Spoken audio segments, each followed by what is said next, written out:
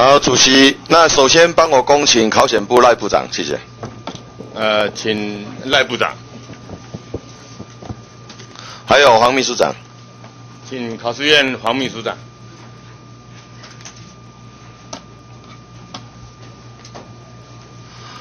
好，那我首先请教一下部长哈，因为刚刚本席非常聆注意的聆听有关于部长的答询哈，那部长答询的过程当中有提到有关于中医师这个区块，那当然现在目前好像是从民国一百年以后就有关于中医师特考的部分要停止办理嘛，对不对？一百年还要办，一百年要办，对，一百零一。那等一百零一年就不办了嘛，哈。对对。那当然，我现在目前感到会长忧心的，就是说有很多台湾的学子目前在目前在对岸。就读所谓的中医学系，但是现在目前我们那个教育部这一边也已经有承认很多大陆比较知名的学校，它本身的学历我们本身有认定。那这个情况之下，他们将来是要参加所谓的中医师特考，还是直接回来能够从参加中医师的考试？是不是能够请部长做一个说明？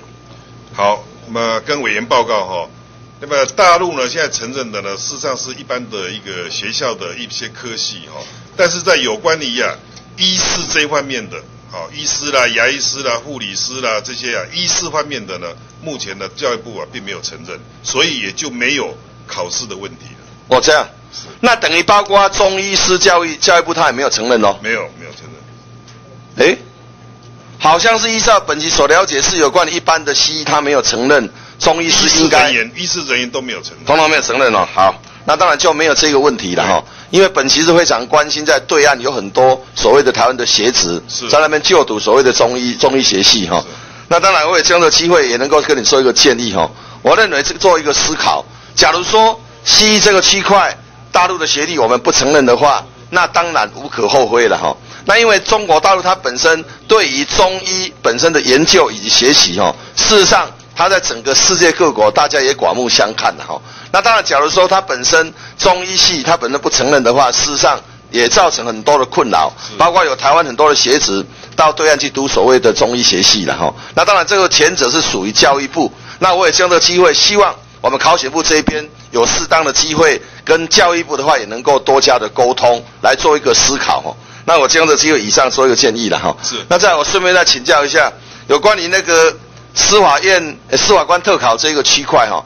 因为司法官特考的这个部分，事实上从过去就已经有口试。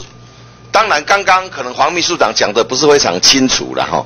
那但我借这个机会，也给黄秘书长一个机会哈。因为现在目前只是把司法官过去有关于二试的部分改为三试，这东西是跟他几个闭起几个考起的哈。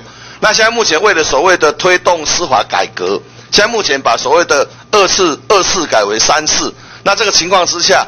为什么会改为三次？是不是能够做一个简单的说明？呃，报告陈委员，部长你请回。这个考试的改革，其实可能就是涉及到一个考试的信度跟效度问题了。呃，以前高考三级，那么在民国呃八十七年开始，也是把一试变为两试，因为报考人太多了，报考十七万人，所以我们担心在申论试试题上的阅卷上。会产生困难，所以也是用两试，第一次用测验题刷掉一半，剩下一半再来参加第二试，所以这他这个阅卷品质就提高很多。那么现在我们也是遇到这个我同意了哈，对，但是为什么一定会会要口试不行呢？口试，因为事实上口试也引起大家高度的质疑啦。会不会有所谓的政党之分？就好比过去民进党执政八年，迄当时我嘛曾经有接到民众的投诉，他说。他参加司法官考试，笔试及格，但是口试被刷下来。那当然，他也高度质疑，就是因为他本身是属于所谓的患难的大家庭呐。那所以说我当初就对所谓的口试这个区块，我个人是持相当反对意见。是。那既然要改革的话，是，不是说你二次变三次就是改革了？是。因为我相信你身为考试院的秘书长，你应该去了解一下，就是说司法官。考试的这个区块比较特殊，对。那尤其有很多所谓的学校刚刚毕业的学生，他考上司法官以后，他马上一辈子做司法官了。但假如说我们反观，包括欧美地区，哎，你的美国要做起来法官不简单呢。对啊，对啊。他还有所谓的经验法则呢。对对。那我们这边不是只有说你参加考试及格以后。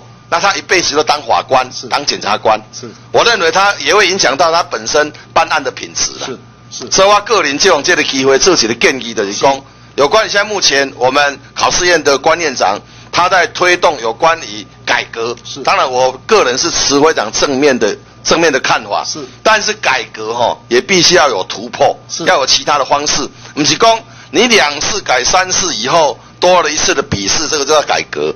你去看一下欧美，它本身的所谓的司法官、跟法官以及律师，还有检察官，它本身的考试任用的一个准则，可能跟我们本身台湾来讲，应该是差异性很大。是是。那所以说我将这个机会点出这个问题。是是。因为有真济人在批评啦，你的是个大学法律系毕业，或者是研究所毕业，他考上司法官以后。他一辈子就是当司法官，他不是当法官就是当检察官，将来退了以后还有优异，甚至还能够当律师。那当然我们也肯定他的能力，但是话又说回来，他的经验上可能会有问，会会有很多的问题的。所以我将这个机会是，请我们考试院这边，既然有关于这个要推动改革，当然有针对所谓的司法官他本身他将来考试内容的话，好好去做一个探讨了。好，好，好，谢谢。好。那再来请一下那个，呃，那个张部长，请张部长。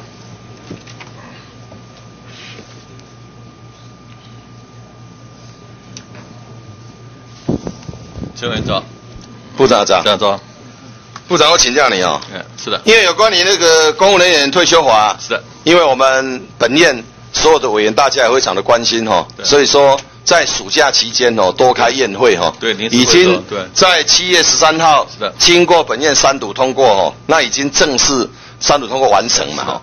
那当然紧接着就是说，现在目前有很多公务人员他本身人心惶惶了哈，就好比我本身是劳工界，我有所谓的劳保年金，嗯，那当然就是说一般的老百姓有所谓的国民年金，对，但是反观公务人员呢？我认为对他们来讲应该是非常不公平的哈。那当然有关于公务人员，包括过去退休以后，还有一个所谓的十八趴。对。那现在目前也经过所谓的改革以后，八四年那现在目前在八十四年以后就没有了，就没有了嘛哈。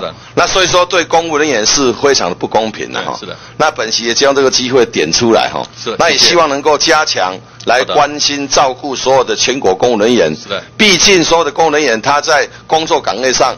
扮演一个非常重要的角色，对国家不管是经济政治来讲，应该是帮助很多了。谢谢谢谢。那所以说，我现在目前非常关心的就是说，有关于我们公教人员哈，到目前为止还没有完成所谓的保险养老给付年金化。是的。那目前我们那个全系部对于这个所谓的公教人员保险养老给给付年金化。那目前有没有在积极在推动？是，我跟呃陈委报告啊，是要公保年金化是全序部的一定的政策。那么不过就是说，今年年初由于私校教职员，当时在地方在通过劳保条例修正案的时候，他们私校教职员他们希望移到劳保啊劳保劳保去。不过后来当时行政院啊劳委会他们有意见，所以说后来继续经过行政院跟这些有关私校教职员协商结果。继续还得到公保，所以我们整个就配合新的情势，我们重新再做个研拟。那整个县实际上年轻化是必然走的路子，实际上陈委讲的完全没错，我们必然要做年轻化，因为八四年以前有有十八趴的优惠出来，八四年以后就没有了。说对这些八四年的以后这些人多少形成不公平的现象，所以我们已经继续在推动。那现在推动的话，我们现在整个法已经修订完成，我们已经送到考试院。那我们希望考试院能够尽快审查，在这个会期之内能够送到档案来审查。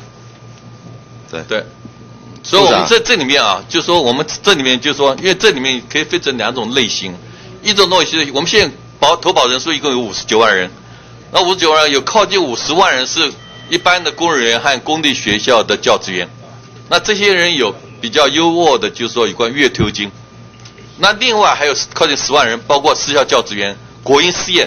具备有公营呃公务人员身份的国营事业，还有助卫型这些人，大概有十万人。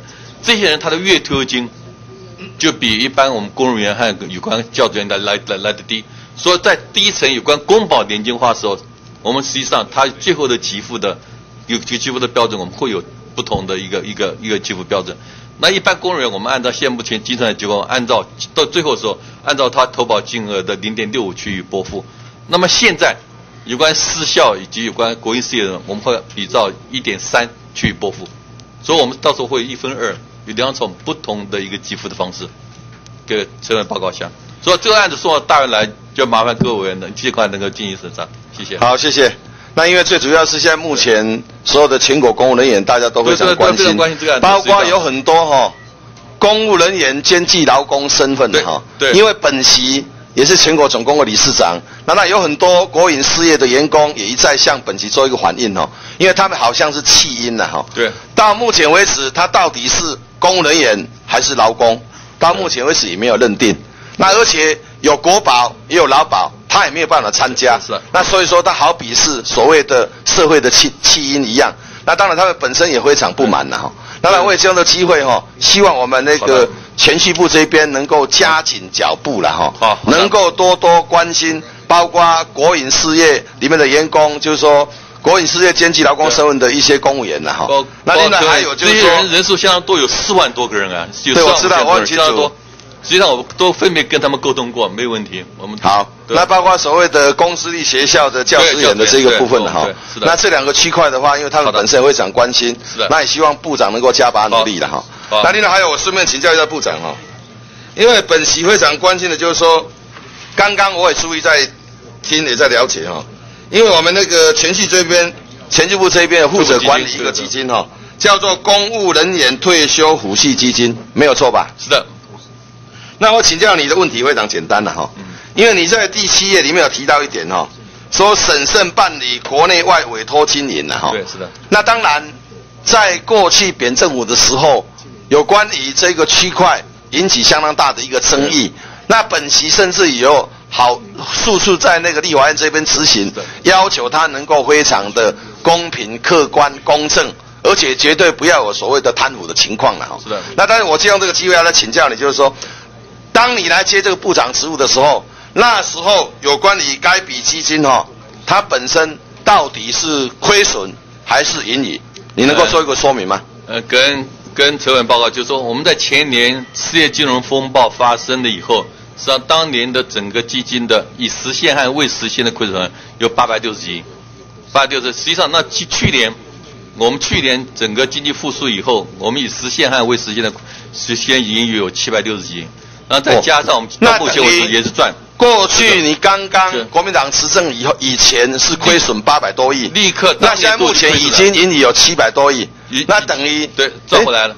林林总总加起来等于就多了一千五百多亿呢。实际上，哎，没有错吧？是。那我要了解，就是说过去的八百多亿有没有造成亏损？有没有所谓的人谋不臧？